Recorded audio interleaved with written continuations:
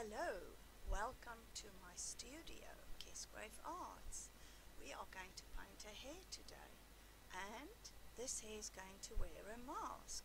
But that is the secret. Uh, what is the mask going to be like? We are going to, to have different masks every day. So I'm working away with acrylic. I am putting it on and just let the brush dance and let painting take me.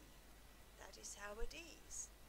Um, I'm using earthy colours to make this hare with greys and warm browns, putting a little bit of gold on, um, putting final details on.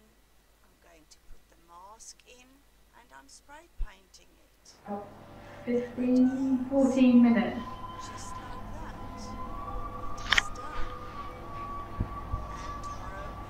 You can see the love.